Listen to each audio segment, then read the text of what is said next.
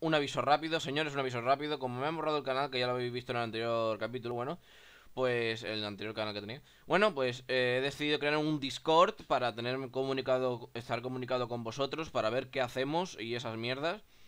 Eh, estaré comunicado con vosotros por Discord porque básicamente he perdido la comunicación por otras partes con los seguidores que tenía porque básicamente no, se, no me ha borrado solamente el canal, se me ha borrado, se me ha borrado todo, lo relacionado a mi correo electrónico. Se ha borrado el correo electrónico directamente, no sé cómo, cómo ha pasado, pero bueno.